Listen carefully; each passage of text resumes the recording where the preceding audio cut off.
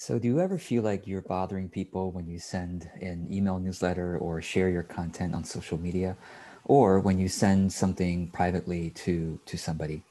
So, I want to talk about this because this was actually brought up in one of my workshops. Somebody asked um, that they feel you know kind of shy or uh, kind of embarrassed or kind of taking someone's time even when they send an email newsletter i don't know if you've ever felt that way but I'll be honest with you, I actually feel um, kind of nervous every time before I send an email newsletter, um, every time before I post something.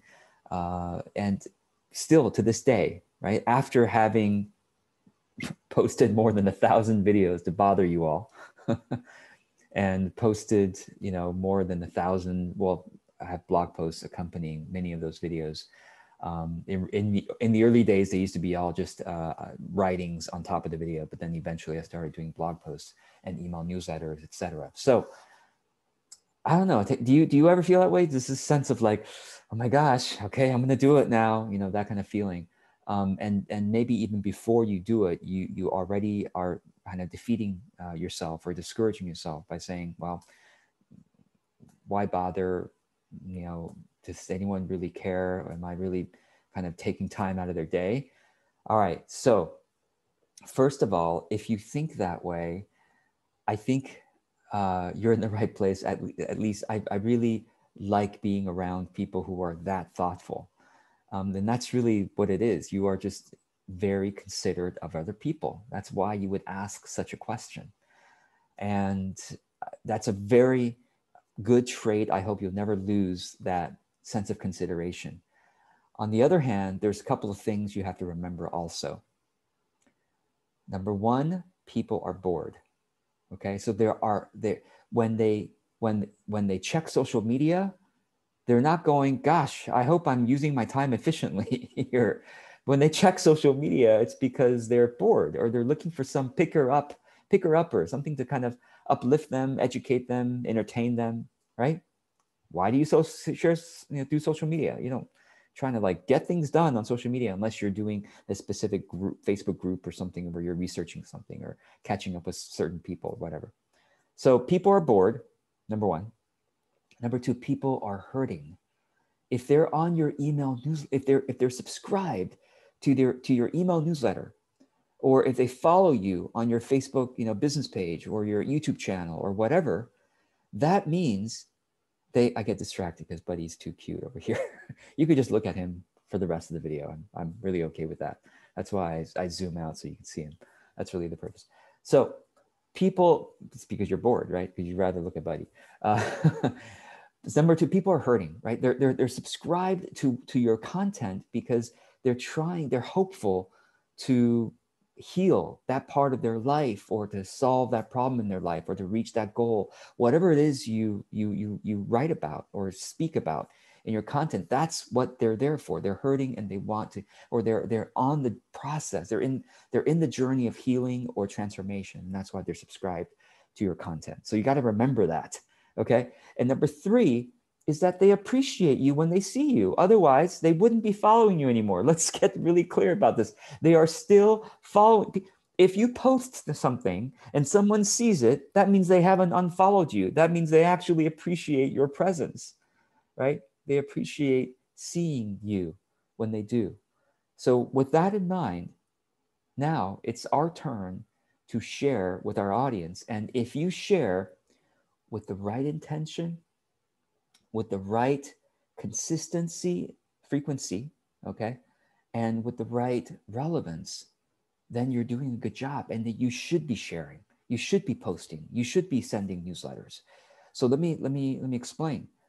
With the right intention, you, when you see someone post something on social media and you can tell they are they're trying to be helpful, they're trying to connect um, with people. They, they want to help people. They, they're trying to do good in the world.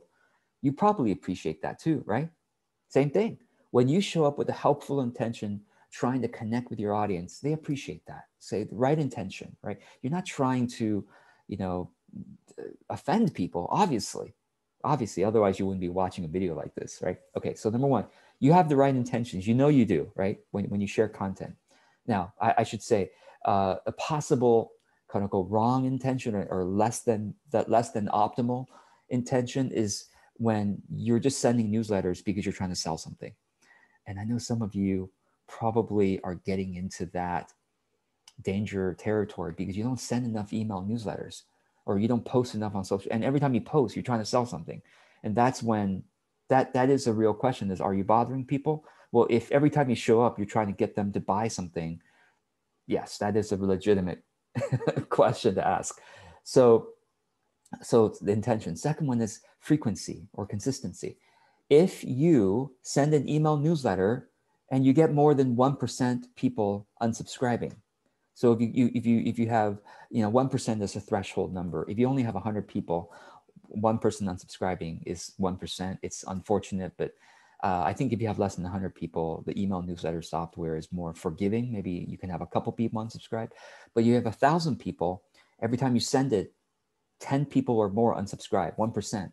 The email softwares, email newsletter like MailChimp or Aweber or places like that, 1% is a threshold, meaning they're like, oof, if more than 1% people unsubscribe, something is not right here. And I'll tell you what's wrong. You're either your, your frequency is wrong or your relevance is wrong. Meaning, frequency. Are you, if you're sending it very rarely, you, you only send something once a quarter, like once every three months, six months, 12 months, of course you're going to get more than 1% unsubscribes because people don't even remember why they signed up for your newsletter. So you have to send it frequently enough. How frequent?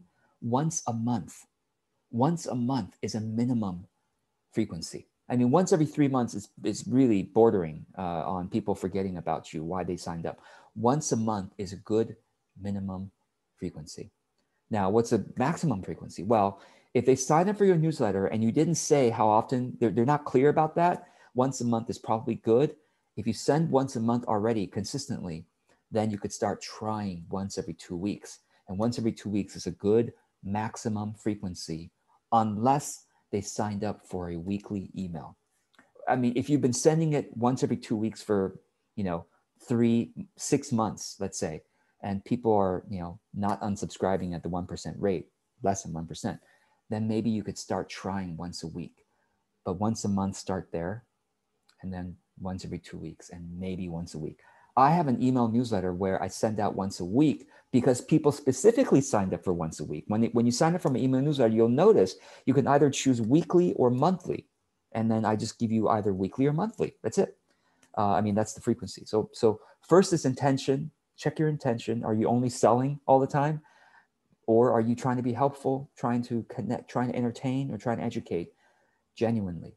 Great. Then your intention's good. Frequency, at least once a month. Okay or start with once a month. And then third one is relevance.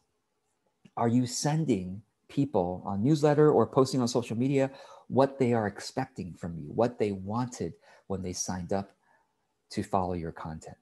Are you are you sending what they want? If you're sending people what they want at the frequency they expect and they feel your intention is good, they're going to appreciate your content. They're going to appreciate your presence.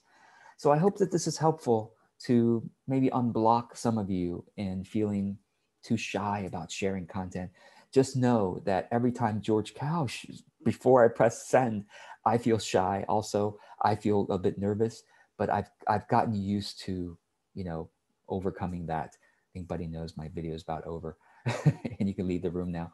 So that's it. I hope this is helpful. As always, I'm open to your comments and your questions below. Uh, for those of you who don't know, I'm George Kao, authentic business coach. I love uh, making videos and writing articles and selling courses to help you build a business that is thriving and that you genuinely love it because it aligns with your heart and it is genuinely helping people and you can see that it's helping people. So, all right, I look forward to seeing your comments and I will see you in the next video. Take care.